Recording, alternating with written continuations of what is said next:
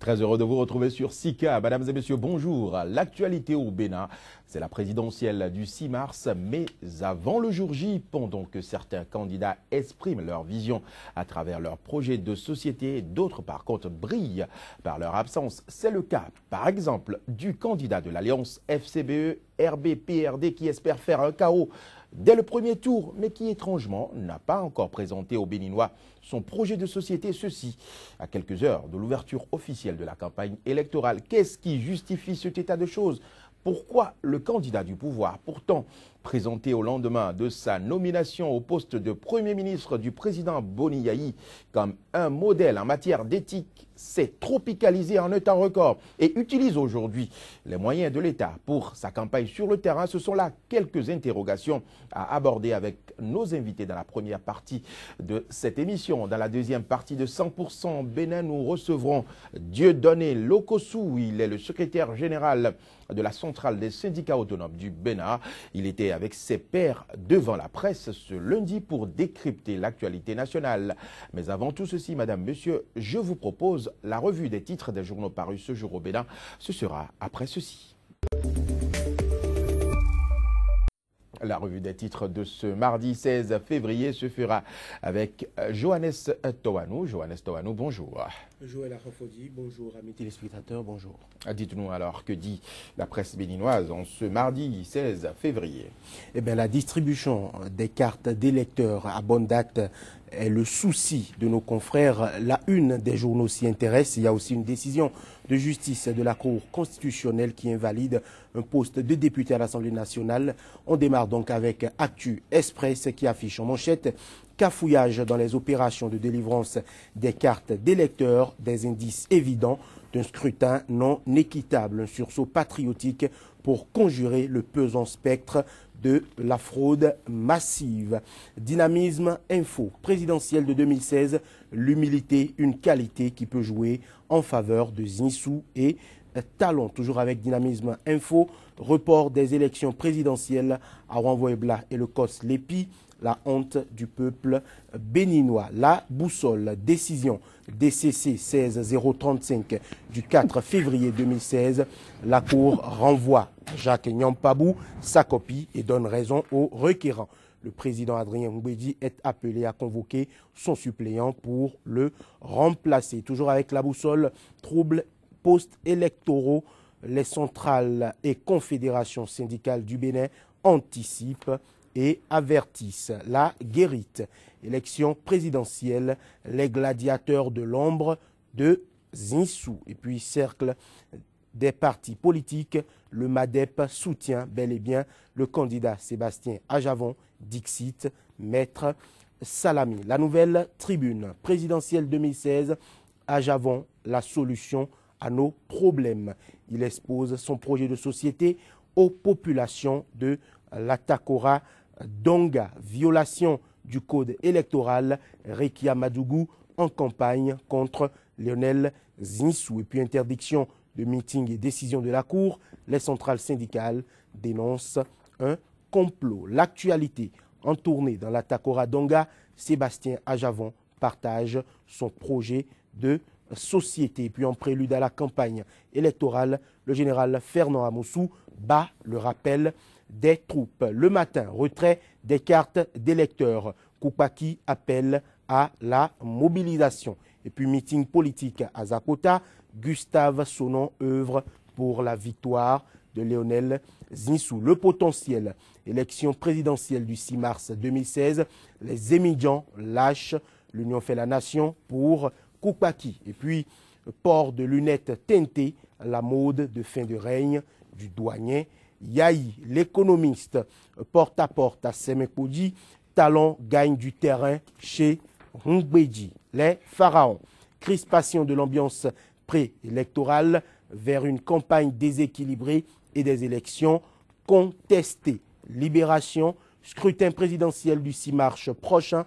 Les émigrants de l'Union fait la nation rallye Koupaki. Décision DCC 16035 du 4 février 2016 la Cour confirme l'invalidation du siège du député Jacques Yampabou. L'informateur présidentiel du 6 mars 2016, Zinsou, le candidat le plus démarché par Talon. Et puis lutte contre la fièvre hémorragique à virus Lassa, la riposte sanitaire maintenue dans le Borgou et la Liborie. L'opinion aujourd'hui, scrutin présidentiel, le report des élections n'est pas la panacée.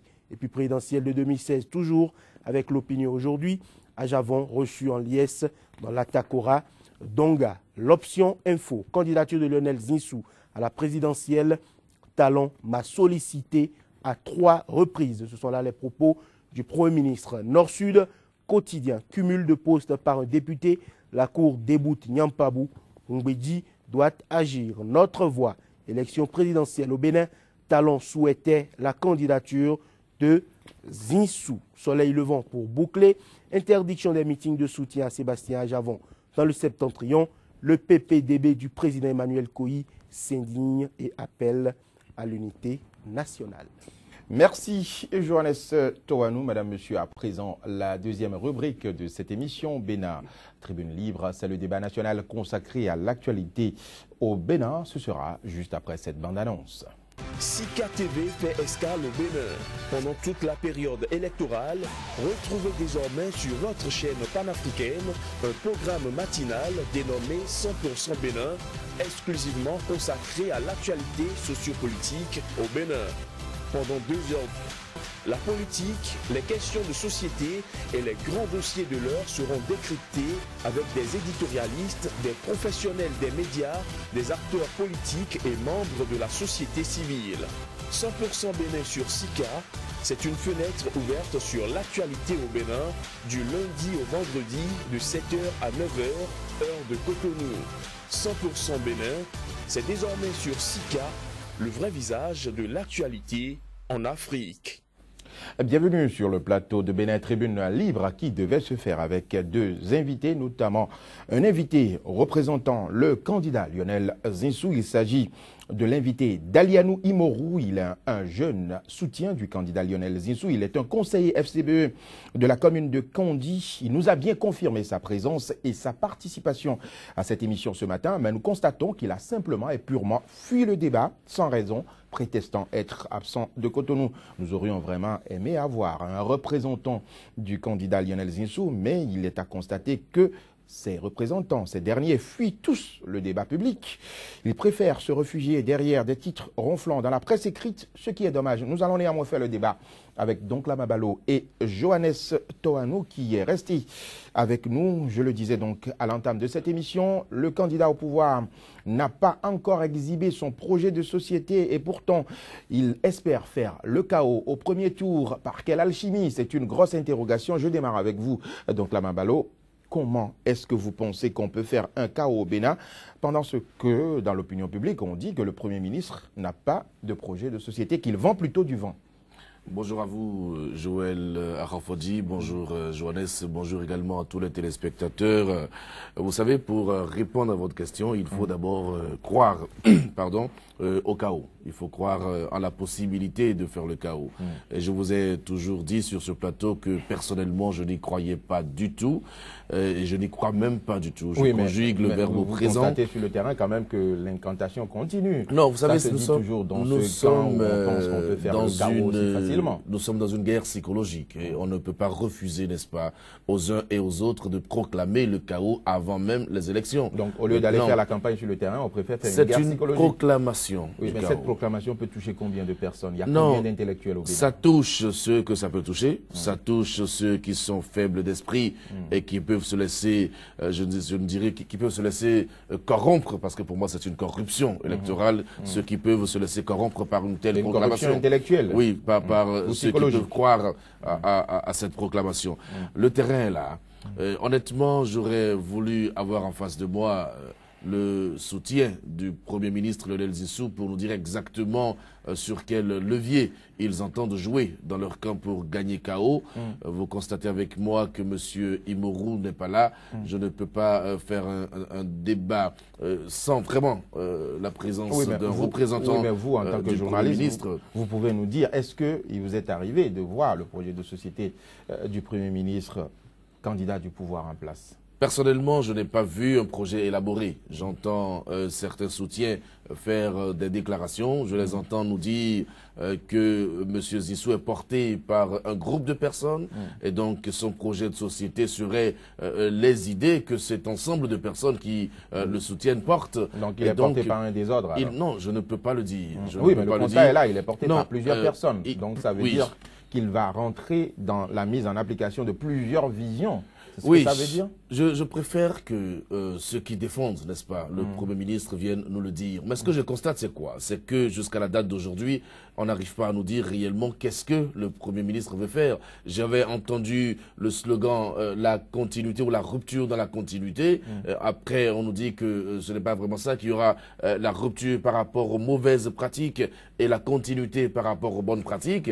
En fait, nous sommes toujours dans la profession de foi. Hmm. Et c'est ça que nous constatons. Alors moi, je suis sûr que le peuple béninois est en train d'observer réellement ce qui se passe là et que finalement, plutôt que de venir défendre un projet de société, nous voyons maintenant le Premier ministre lui-même être sur le terrain euh, des coups bas. Il donne des cours, des sous euh, de la ceinture. Il a mm. dit euh, beaucoup de choses qui, pour moi, sont des choses sur lesquelles il va falloir revenir par rapport à sa connaissance du pays. Est-ce que ce n'est pas l'arme des faibles? Est-ce que ce n'est pas parce qu'il se sent essoufflé qu'il commence par donner je, des coups? je suis certain mm. que dans son camp, on a dû faire le point on a dû euh, étudier les différentes possibilités, on a dû comprendre finalement que le chaos, ce n'est pas une addition mathématique de certains chiffres qui mmh. aujourd'hui ne sont même plus vérifiés. Mmh. Et donc, on tire les conclusions et puis on donne des coups. Mmh. Alors, celui à qui vous donnez des coups a la possibilité, n'est-ce pas, de répondre, même si certains me répondraient que euh, ce n'est pas à tous les coups qu'il faut donner des réponses, mais il y a des coups pour lesquels il faut donner, euh, pas forcément des réponses, mais quelques éclaircissements pour que le peuple puisse comprendre.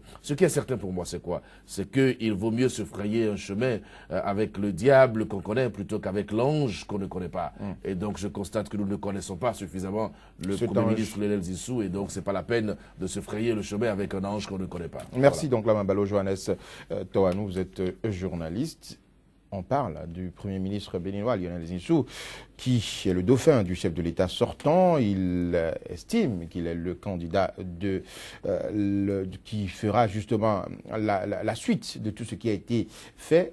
Il estime qu'il fera également le chaos, mais jusqu'à maintenant, on ne, on ne, voit toujours pas son projet de société. Est-ce que vous, il vous est arrivé euh, de tomber sur son projet de société?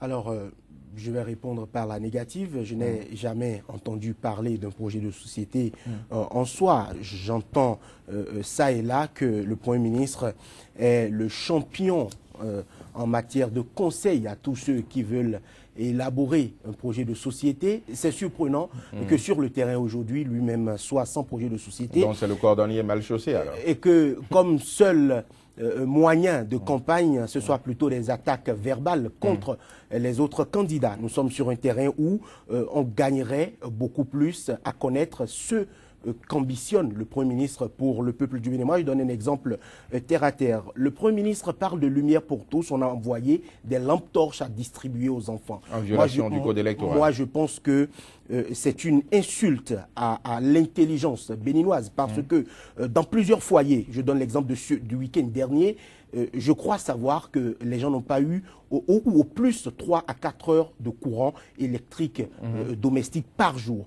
Si les gens ont des difficultés dans leur foyer et que vous parlez de lumière pour tous mmh. et que c'est avec des lampes torches à distribuer dans les écoles aux enfants, quelqu'un m'a même confirmé que cela faisait mal aux yeux, on, a l'impression que c'est juste euh, un candidat qui a envie de pérenniser les mauvais actes du régime en place. Alors, il, est Premier ministre en place, il n'arrive pas à régler le problème de l'énergie et il préfère partager des lampes torches. Des, lampes torches en, et... remplacement du de, de, et Il y, a un autre élément qui me fait confirmer cette thèse-là, hmm. de ce que ce sera juste une suite logique, euh, euh, ou plutôt un YAI 3 si vous voulez, hmm. c'est que ce candidat-là, aujourd'hui, fait campagne allègrement avec les moyens de l'État.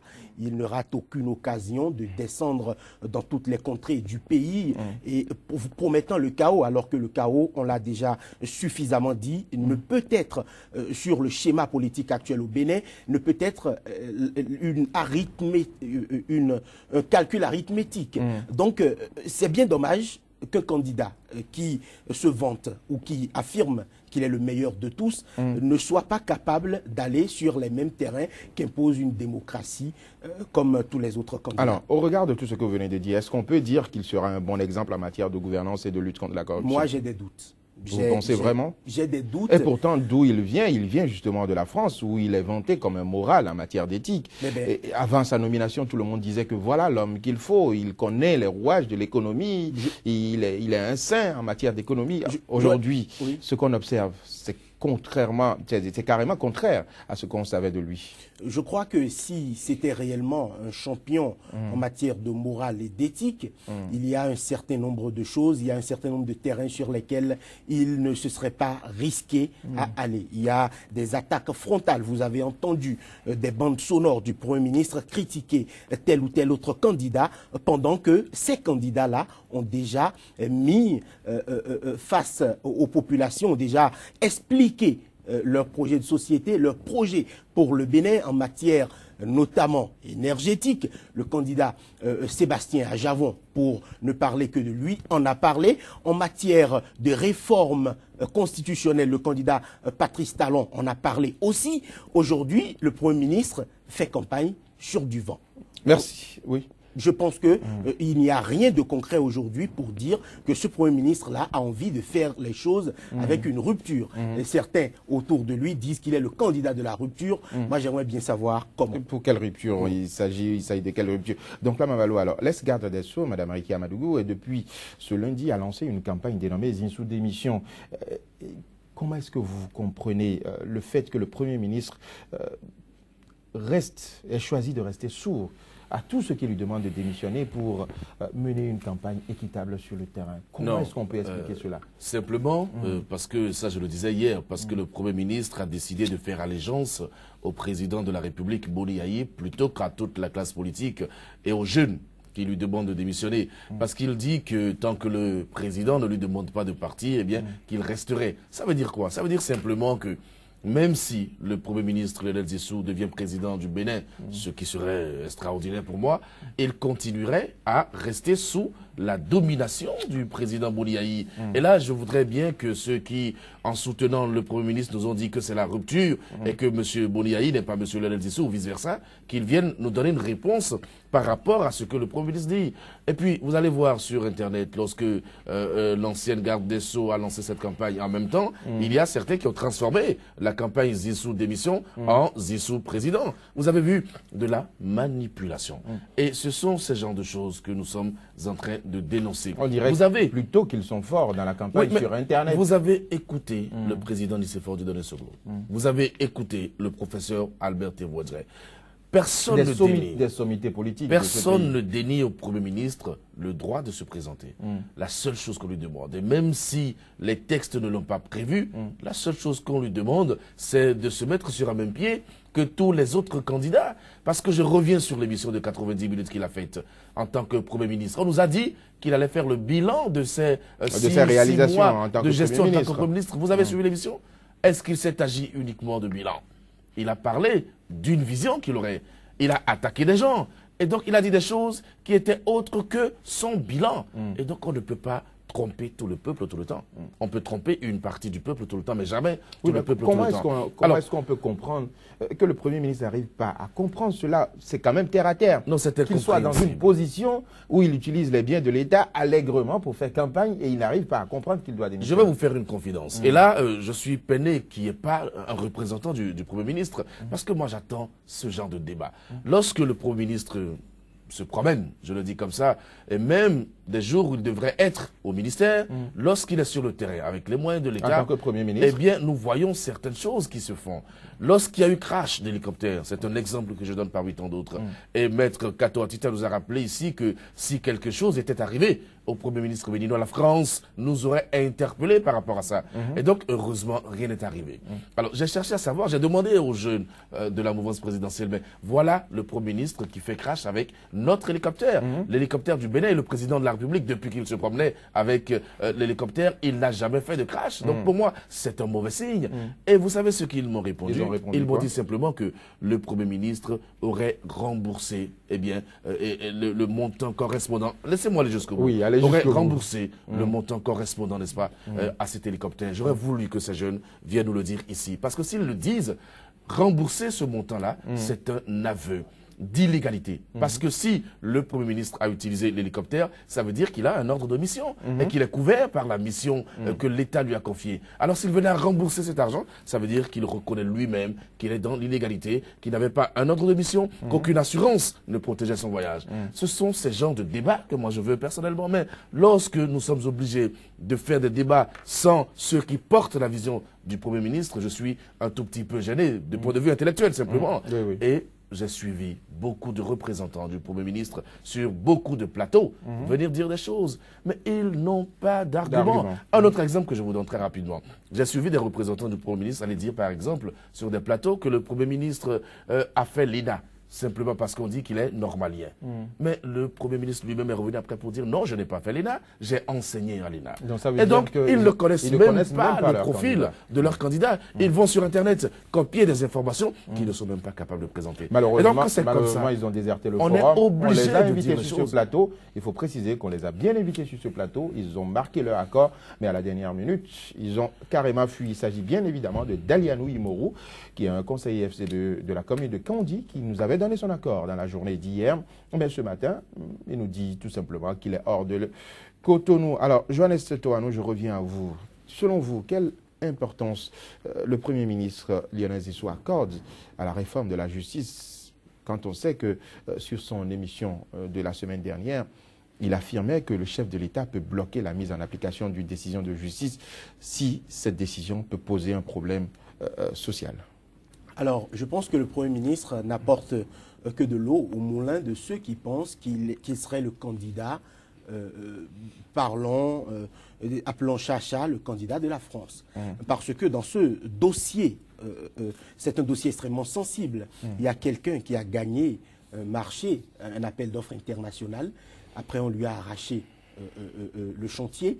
Et par rapport à une décision de justice qui est sortie, je crois que dans toute république, le chef de l'État est même le garant du respect des tests dans une république. Et quand ce chef de l'État-là euh, viole effrontément euh, une décision de justice et que le Premier ministre a tendance à adouber, a tendance à, À confirmer, protéger, à voilà. protéger euh, euh, ce, c'est- c'est Ce de la- viol, c'est de la de la forfaiture. Ouais. Simple- cela ne fait que confirmer tout ce que les doutes que nous avons quant à la sincérité du projet euh, de ce candidat-là pour Mmh. le Bénin, quant à la sincérité de la vision de ce candidat-là pour le Bénin. Mmh. Parce que si c'était réellement planifié et qu'il avait réellement des ambitions, Mmh. il serait sur le terrain de la légalité, le terrain du respect des tests de la République du Bénin et non dire que l'exercice du pouvoir d'État confère le droit. Au chef de premier garant des tests d'une république de les violer effrontément. C'est honteux, c'est dommage, ça fait peine parce que cela confirme que si jamais le pays lui revenait dans les mains, eh ben, ce serait haro sur la justice Est-ce que vous pensez qu'il aurait pu dire cela en France? Je ne crois pas parce que Et pourquoi il le dit, hein, il le dit euh, au Bénin Parce vous, que vous, vous au Bénin, c'est permis, c'est ça? Vous l'avez vous-même, Joël Arofo, dit, dit dans votre introduction. s'est tropicalisé il très rapidement. Mm. tropicalisé, voilà, il s'est tropicalisé. C'est ce qui fait qu'actuellement, le Premier ministre se retrouve euh, sur le terrain des attaques verbales, Mm. euh, sur le terrain euh, de tel m'a sollicité, Mm. donc je suis le meilleur, alors que c'est ce que vous avez à apporter Mm. aux populations pour soulager un tant soit peu leurs difficultés. C'est Mm. sur ce terrain-là qu'on vous attend et non euh, sur le terrain euh, du pillage des ressources de l'État à des fins euh, politiques et et politiciennes. électoraliste. Alors, donc, Lama Balo, vous pensez qu'il va accorder de l'importance à la réforme de la justice, ce Premier ministre candidat? Mais déjà, les acteurs de la justice euh, lui en veulent. Ah Et, bon, oui, pourquoi? lui en veulent déjà. Il peut Parce pas que lui en vouloir. hein. lorsque vous Il est venu à six mois de la fin du mandat. Oui, mais il n'a pas l'intention de faire, euh, je ne sais pas, respecter des, des- des décisions de justice antérieures. Ça veut dire quoi? Ça veut dire qu'il y a des gens qui ont maille à partir avec la justice. Et que si le Premier ministre devenait, devenait président de la République, c'est une hypothèse qui pour moi n'est pas plausible. Mais c'est quand même une hypothèse. Ça veut dire que, eh bien, il ne va pas faire rendre gorge ça veut dire qu'il veut faire blackout sur tout ce qui s'est passé les dix dernières années. Et c'est pour ça qu'il est là d'ailleurs. C'est pour ça que le président Boniaï l'a choisi. Parce que justement, on veut couvrir des arrières.